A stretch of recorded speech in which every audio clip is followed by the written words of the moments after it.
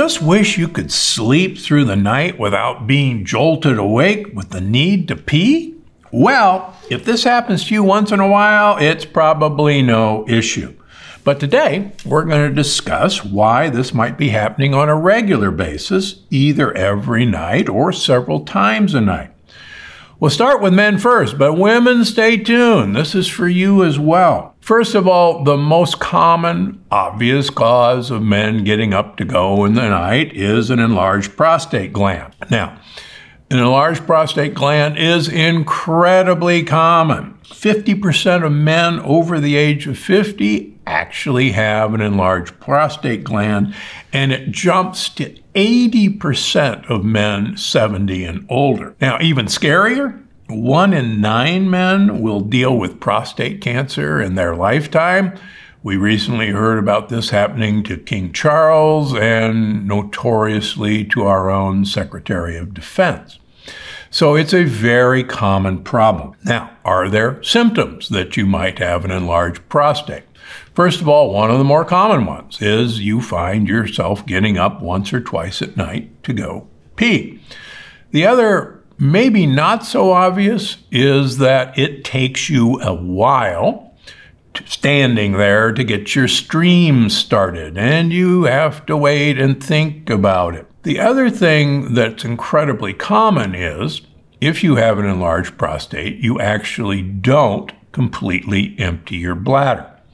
Now, here's a trick that I've learned from my urology colleagues right down the hall from my office in Palm Springs is that once you finish, uh, go do something for 10, 20 minutes, and then come back and try again. You'll notice that you'll have actually quite a bit of urine in your bladder. And particularly if you're planning on making it through the night, men, go to the bathroom about 20 minutes before you plan on going to bed, and then do it again right before you go to bed. But one of the things that you're not going to believe me about is that an enlarged prostate is not something that is normal as you get older. I'll say that again. It is not normal to have an enlarged prostate as you age. And there is now significant, impressive evidence that prostatic hypertrophy, prostatic enlargement, is actually due to leaky gut, to intestinal permeability, to literally bacteria and bacterial particles going directly from the rectum to the prostate. They sit right next to each other. And that inflammation in the prostate is what causes prostatic hypertrophy. Now, I'll give you a personal example. I used to have an enlarged prostate, but when I started on my program, miraculously, my prostate shrunk. Miraculously. Well, it's not miraculous at all. I stopped seeding my prostate with bacteria and bacterial particles, LPSs. And the inflammation that accompanied that died down. So I'm approaching my mid 70s now, and I don't have an enlarged prostate, and I don't have to get up at night. So think about that the next time you get up at night and are bothered by that. Maybe, just maybe, changing your diet and eliminating leaky gut is just what you're looking for. Now, how do you deal with this? Well, the easiest way is to get my new book, Gut Check gives you the whole plan of stopping leaky gut.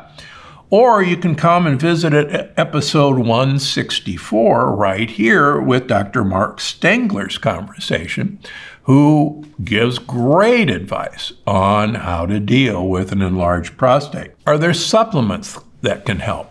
There are actually a number of interesting supplements on the market that are certainly worth trying, but you're not really going to impact the underlying cause of this. Are there foods to help? Well, the best foods to help are actually the foods that feed friendly bacteria and avoiding the foods that are going to cause leaky gut. And just to reiterate, try to stay away from almost all grain products except millet and sorghum. Try to stay away from beans unless they're pressure cooked or fermented the appropriate way. Try to stay away from the nightshade family of vegetables potatoes, eggplant, tomatoes, bell peppers, goji berries, or peel and deseed them, or ferment them. And women, I haven't forgotten about you. Women do feel a need to pee in the middle of the night. Now, in my practice, I actually see a lot of women that have irritable bladder. And there are various theories about what causes ir- irritable bladder. And obviously, the first that comes to mind is a acute or a low-grade urinary tract infection, a UTI. Now, where UTIs come from has been changed, uh, subject to debate, with the discovery of the human microbiome. For years, we were convinced that most urinary tract infections came from either honeymoon cystitis, and one does not need any imagination to imagine where that comes from. But number two, most women were blamed for wiping the wrong way, wiping up rather than down. But in fact, most urinary tract infections have now been traced to particular strains of E. coli, which are prevalent in factory farmed chicken. Now, how in the world is that possible? Well, I told you, women, that pay attention to what was happening to men. The E. coli that you eat colonize your rectum and they have a direct shot from your rectum to your bladder. And they set up shop inside your bladder.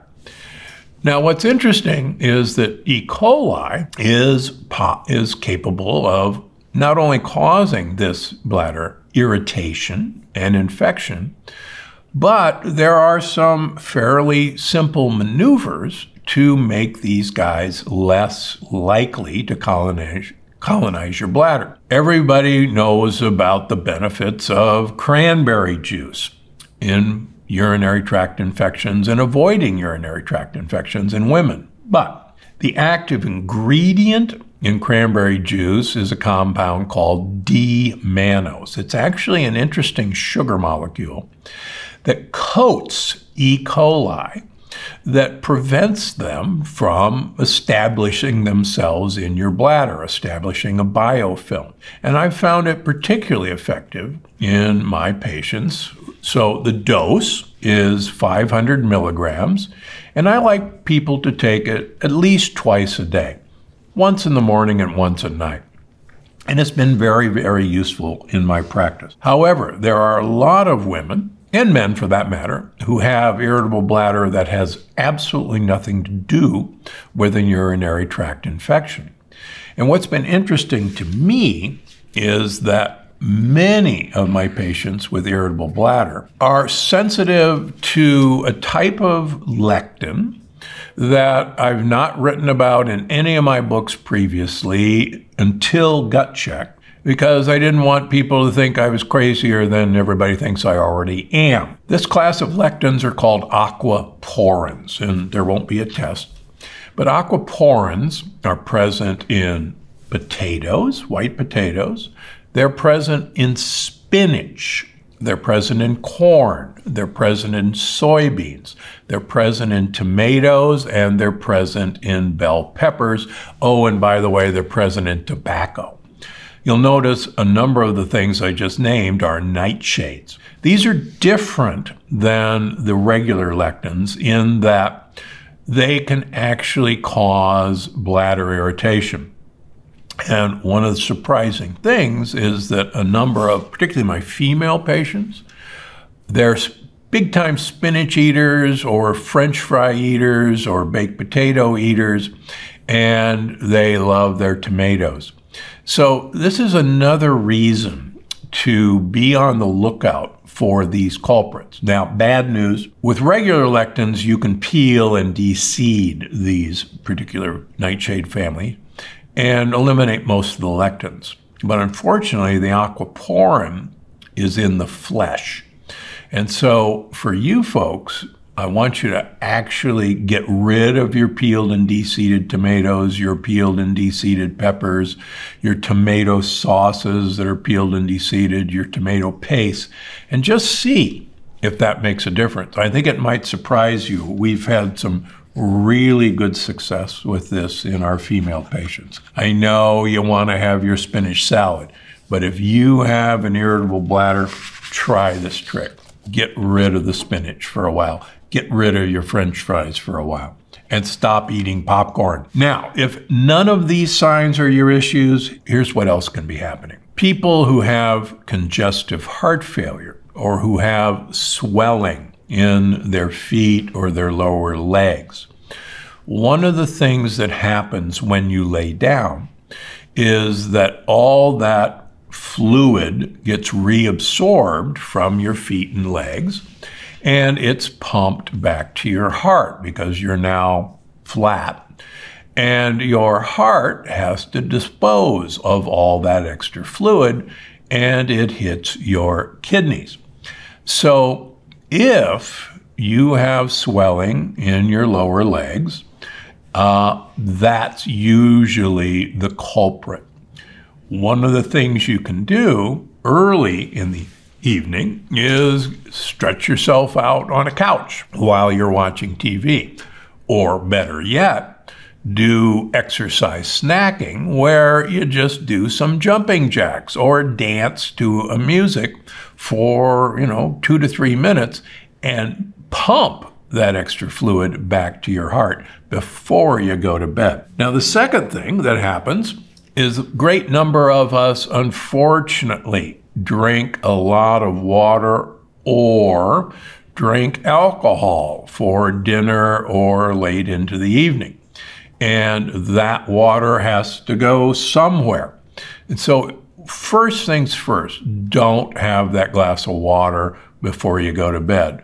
Secondly, please stay up after drinking alcohol because another thing that's going to really wake you up is that alcohol wearing off about two to three hours after you go to bed, and you'll be wide awake. Finally, many, many people unwittingly are woken up by sleep apnea and that sudden need to take a breath because, quite frankly, you've become hypoxic. You have low oxygen levels. One of the best ways if your partner tells you you're snoring, please take that seriously. That snoring is not normal. Get yourself an Oura ring, which I have on here. They're relatively affordable. I have no relationship with them, except I'm a big fan and an early adapter. And Oura rings can actually watch the num and report the number of times you have episodes of drop in oxygen saturation uh, on your nightly report.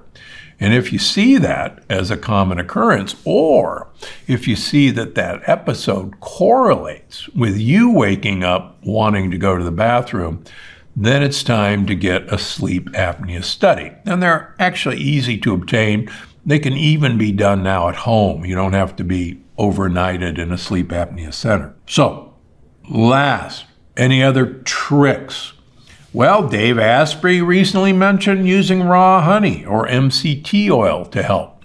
Uh, I certainly haven't seen that in my practice, but uh, I'm not a huge fan of raw honey in the first place uh, because, sorry, it's still fructose.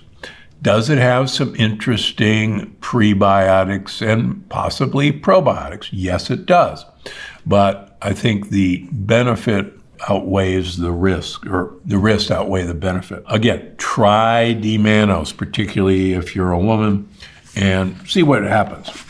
Okay, now I know what you're saying. I just wake up at 2 to 3 o'clock every morning, and it has nothing to do with needing to pee, and I can't go back to sleep. And I hear that all the time from a lot of my patients. First of all, once again, please, please, please do not have a heavy meal or drink alcohol and then go to sleep. It's nearly a guarantee that you'll be up in two or three hours. Many of my patients are woken up with heartburn or GERD, and that's what wakes them up. One of my tricks, uh, and remember, I was a cardiothoracic surgeon for most of my career, and we operated on people with GERD, heartburn. And one of the things that we learned very early is we could prevent a lot of heartburn and GERD by having our patients sleep on their side their left side. Now what happens when you sleep on your left side is you actually you trap a lot of air in the top part of your stomach called the fundus. And it actually pushes up on your left diaphragm. And it's actually one of the main causes of hiccups, by the way. But if you sleep on your left side, that air is basically forced out of your stomach in the form of belching or burping.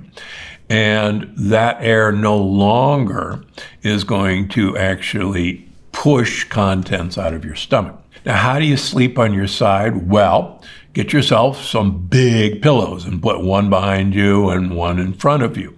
There are actually devices, pillows that you can buy on the internet that force you to sleep on your left side. Finally, get yourself a lot of dogs. We have four dogs on our bed, and invariably, one or two of the dogs luckily lean against my left side, uh, my back side, and kind of force me onto my side. Lastly, I should mention, get yourself dogs that don't want to get up in the middle of the night to go pee. That's a very important consideration that I'm still trying to teach my rescue dogs to do. Finally, listen to your spouse or significant other. If they tell you you're snoring, take that seriously and get yourself a test because that, quite frankly, can save your life. And one of the classic signs of sleep apnea is this waking up at night and can't get back to sleep. Finally, it could be something very physiologic. Around four o'clock in the morning, normally, a hormone called cortisol, the arousal hormone, begins normally rising to get you ready for the morning. It raises norepinephrine, adrenaline to get your blood pumping, to actually raise your blood pressure, so that when you step out of bed being prone, you don't faint when you fall out of bed. The other thing it's trying to do is mobilize sugar so that, believe it or not, you don't faint from lack of sugar when you get up, and you'll have plenty of glucose before you break your fast, break fast, to get you going in the morning.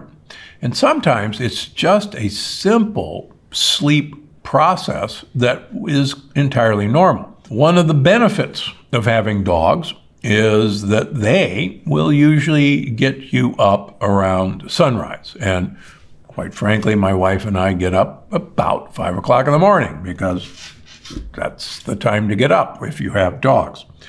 Uh, so those are the tricks.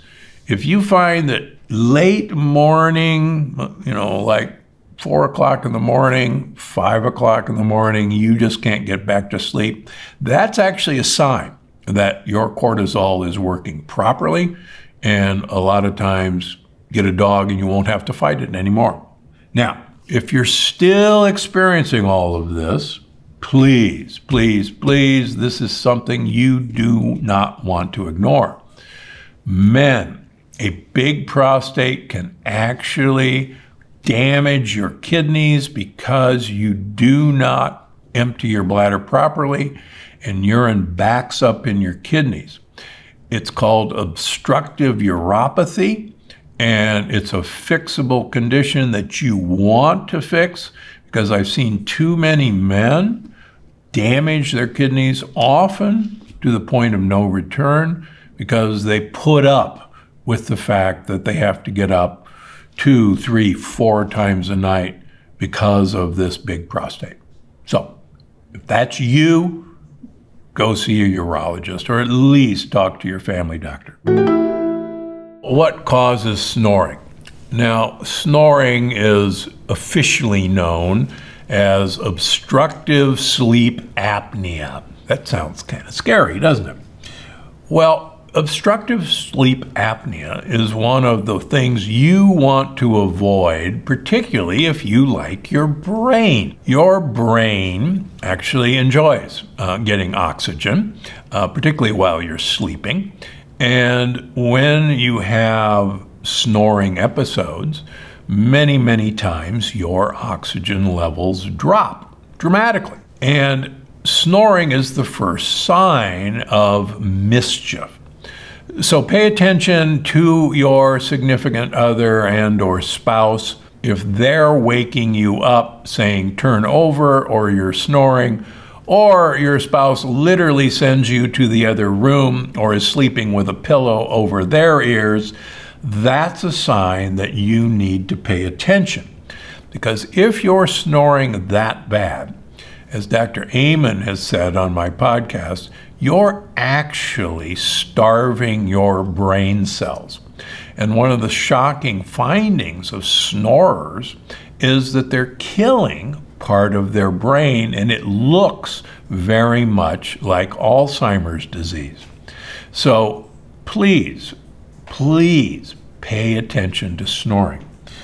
So, what causes snoring? Well, there's a lot of potential causes. First of all, some people, particularly with not a very prominent chin, unwittingly, when they sleep, their tongue falls into the back of their mouth. And the tongue falling back into the back of your throat is actually causing obstructive sleep apnea and snoring. Now, that one is actually a remarkably easy fix. The first thing I do with my patients who are snorers like this is I do not let them sleep on their back. And that's one of the first tricks to use. I like my patients to sleep on their left side, and I've posted another video on the benefits of left sided sleeping. You can use two large pillows to prop yourself on your side.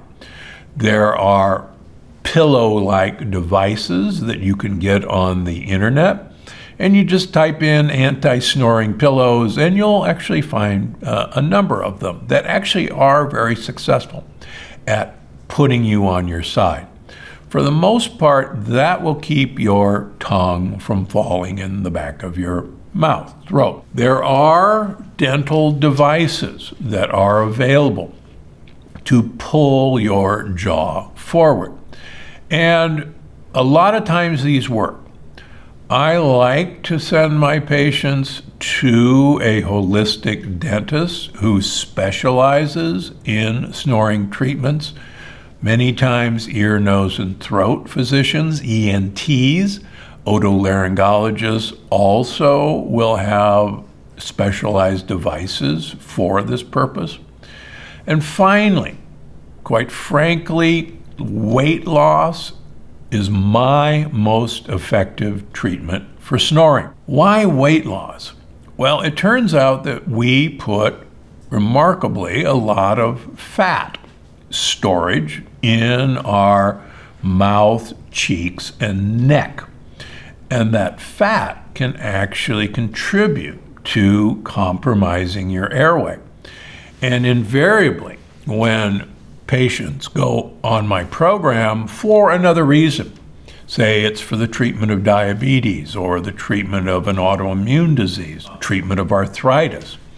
One of the side effects that the spouse notices is that their husband or wife stops snoring. Oftentimes, I have patients return from a trip to Europe for several weeks found that they were snoring over in Europe. And when they came back, they discovered that they had gained, oh, five, seven pounds.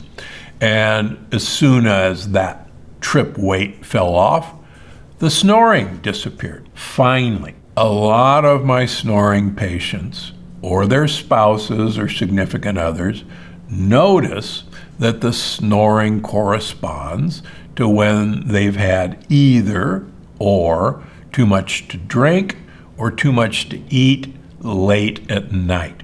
And alcohol in and of itself will change the motor tone, the muscular tone in your airways. And again, listen to your bedmate. And if your bedmate notices that this is the trend, that's an easy fix. Either stay up for a few hours, let that food and the alcohol digest, or simply don't eat late into the night, don't drink, and then go to bed. So, those are great tricks. Snoring is a warning sign. Secondly, we know that people who have sleep apnea do not get good quality sleep. And good quality sleep, it turns out, has a reciprocal effect on preventing snoring. I hate to sound like a broken record, but the average adult needs somewhere between seven and eight hours of sleep every night. And a lot of that sleep needs to be deep sleep. And unfortunately, snoring really interferes with deep sleep.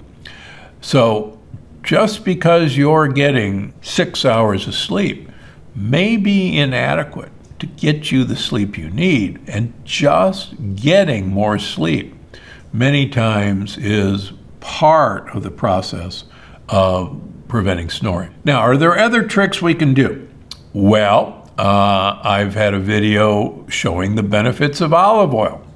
If you have a jigger of olive oil before you go to bed, you will lubricate your tongue and the back of your throat and remarkably, air moves much better across those passages. And it's a great trick to try. It often does the job. Other tricks that you can use. Mouth taping has become popular. Many people inadvertently are mouth breathers, particularly when they're on their back. And many people have less than adequate nasal passages. Interestingly enough, experiments have shown that taping your mouth before you go to bed forces you to breathe through your nose. And many times that's a effective treatment. But word of warning, make sure that you have adequate nasal passages to accomplish this. One of the easiest ways to test that is to try alternate nasal breathing like in the yoga practice where you close your mouth and close one side of your nostril and breathe in, and then close the other side of your nostril to breathe out. First of all, it's a great breath control method that you really ought to be practicing on a regular basis, but it's a great way of deciding whether it's safe for you to do mouth taping before you go to bed. Finally, try out a side sleeping pillow. They're really not very expensive and always, always, always check in with your bed partner to see if any of these tricks are making a difference. And the important thing is, if these tricks are not making a difference, then it's time to get a sleep study, a sleep apnea study. Because Dr. Amen and I are in complete agreement if you have sleep apnea, that's a dangerous thing that needs to be treated. As I'm sure you already know, one of the keys to a healthy life is getting a good night's sleep. But did you know that your brain actually has its own housekeeping system that works while you sleep at night? Even more fascinating, how this system runs has everything to do with when you eat before you go to sleep. Now, let's bust a myth right now. If you are eating before bed, choose a small evening snack that includes some fiber and protein, like an apple and one to two tablespoons of peanut butter. The fiber helps slow the rise of glucose after eating, and the protein helps with muscle repair and healing. What a bunch of. Contrary to popular belief, anything that you eat too close to bedtime can give you more than just a stomach ache or reflux or GERD. It can actually disrupt your sleep and the nightly brainwash that you should be getting. Not to mention, it will actually decrease your energy and increase the risk of obesity. Now, recently, two studies have been done looking at the effect of eating before sleeping, one on mice and the other on humans.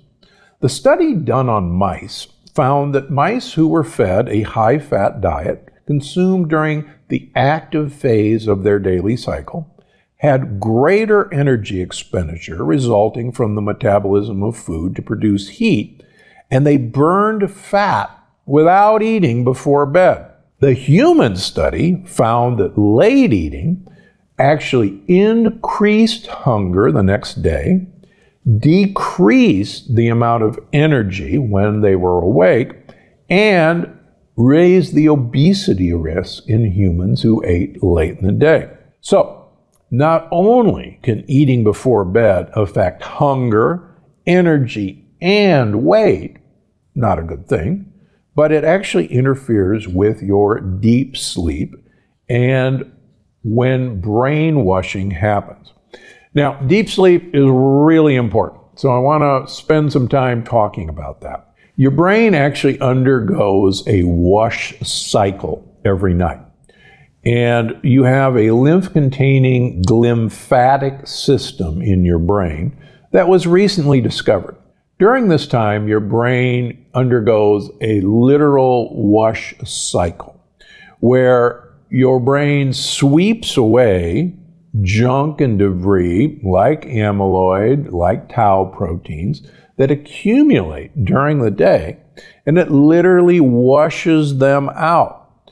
Now, this usually occurs during deep sleep. And for most people, deep sleep occurs fairly early in the sleep cycle.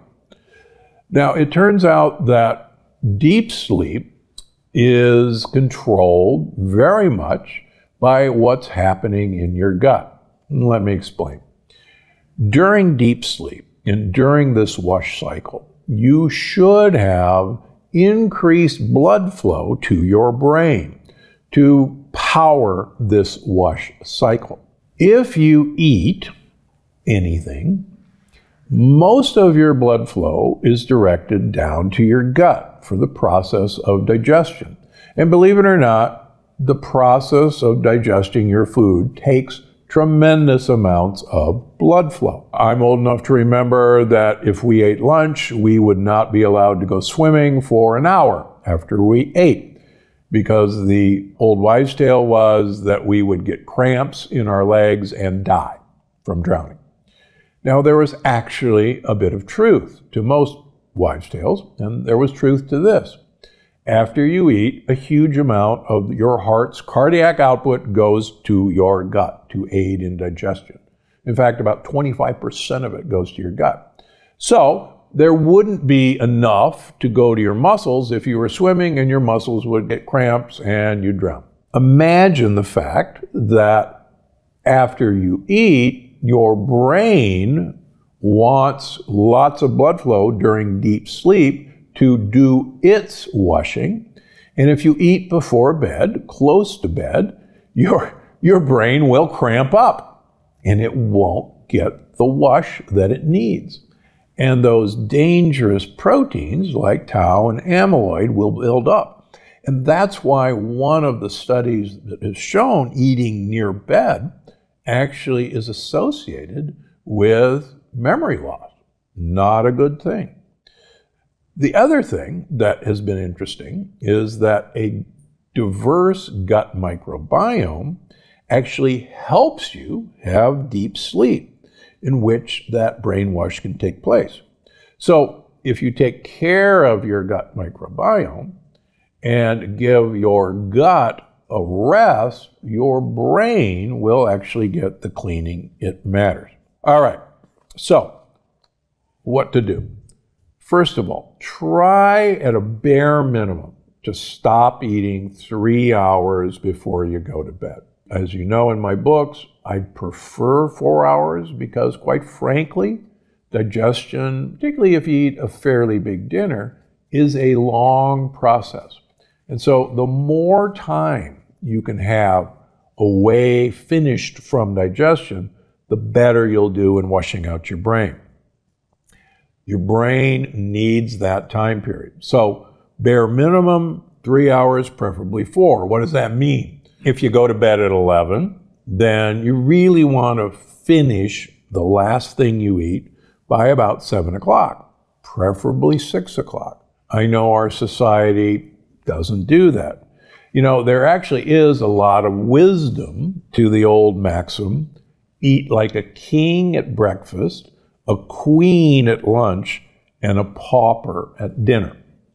And that actually, old maxim, comes from the fact that ancient cultures knew that something was going on that probably affected their well being by eating late at night.